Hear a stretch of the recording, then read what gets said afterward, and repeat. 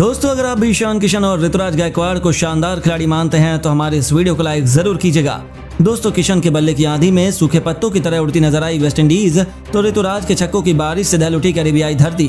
तो आखिर कैसे ऋतुराज और ईशान की खौफनाक बल्लेबाजी के बाद अपनी धाकड़ गेंदबाजी से उमरान ने लिखा नया इतिहास? कैसे इन तीनों खिलाड़ियों ने वेस्टइंडीज को कुचल कर रख दिया? उसकी पूरी हाईलाइट हम आपको दिखाएँगे। लेकिन उससे पहले आपको क्या लगता है, ईशान किशन और ऋतुराज में कौन सबसे बेहतरीन बल्लेबाज है? अपनी राय हमें नीचे कमेंट बॉक्स में ज़रूर बताइए। दोस्तों, आखिरी मोड़ पर खड़ी तीन मैचों की वनडे सीरीज़ के तीसरे वनडे मैच में कुछ ऐसा चमत्कार देखने को मिला, जिसने पूरे क्रिकेट जगत को हैरान करके रख दिया। जी हाँ आपको बता दें, पिछले मुकाबले की हार का सारा गुस्सा भारतीय खिलाड़ियों ने वेस्ट इंडीज के गेंदबाजों पर उतार दिया। दरअसल, भारतीय टीम के लिए ईशान किशन के साथ पहली बार ऋतुराज गायकवाड़ की जोड़ी, पारी की तूफानी शुरुआत करने के लिए मैदान में उतरी थी। भारतीय टीम में नयापन हमें देखने को मिला था। पहले ओवर से ही इन्होंने अपने खतरनाक तेवर वेस्टइंडीज को दिखाने शुरू कर दिए, जहाँ ऋतुराज ने आते ही खूबसूरत कवर ड्राइव से मैदान को चीरते हुए अपना खाता खोला था। तो किशन तो कमाल की फॉर्म में ही चल रहे थे। उन्होंने भी अपने बल्ले का जादू दिखाते हुए मिडाउन के ऊपर से गेंद को छक्के के लिए भेजकर काउंटर अटैक करना शुरू कर दिया।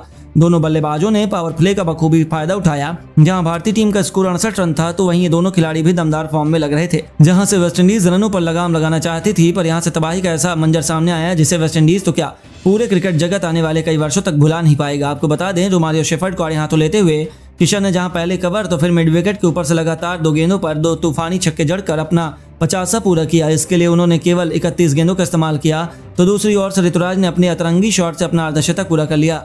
इनके विस्फोटक बल्लेबाजी की बदौलत टीम इंडिया बीस ओवरों में ही डेढ़ सौ रनों का आंकड़ा पार कर चुकी थी। वेस्ट इंडीज के तो पसीने छूट गए थे, उन्हें समझ में नहीं आ रहा था कि कैसे इन दोनों खिलाड़ियों को रोका जाए। लेकिन दोस्तों, यह दोनों तो आज इतिहास रचने के इरादे से उतरे थे। ईशान किशन, जहाँ काल का दूसरा नाम बनकर मैदान में मौजूद थे तो वहीं धोनी के चेले ऋतुराज का बल्ला भी जमकर गरज रहा था।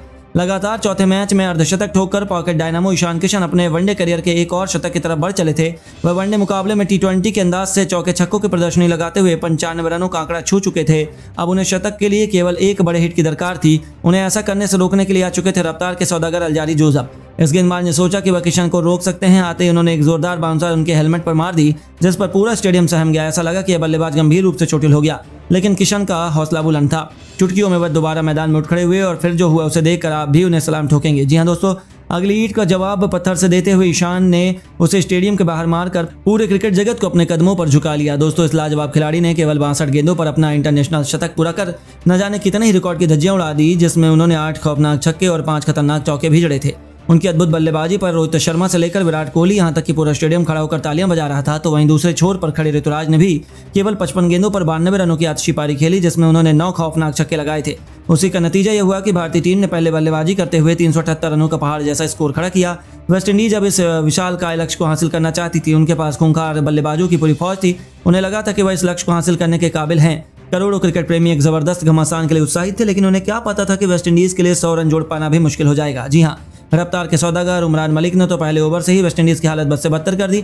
जैसे ही वे गेंदबाजी में आए, उन्हें पहली ही गेंद पर काली मायस के तीनों विकेट उखाड़ कर अपना खाता खोल लिया। तो ओवर की आखिरी गेंद पर उन्होंने शाही होप को अपने जाल में फंसाकर पहले ओवर में ही वेस्टइंडीज की कमर चटका दी थी। जी हाँ भारतीय टीम की जीत की कहानी लिखी जा चुकी थी। कैरिबियाई धरती पर भारत का परचम जोरों से लहरा रहा था, क्योंकि टीम इंडिया आसानी से जीत की तरफ़ बढ़ रही थी। हालाँकि ब्रायडन किंग और सिमरन हिटमायर ने अपनी टीम को संभालने की भरपूर कोशिश की, लेकिन उमरान तो यमराज बनकर आए थे।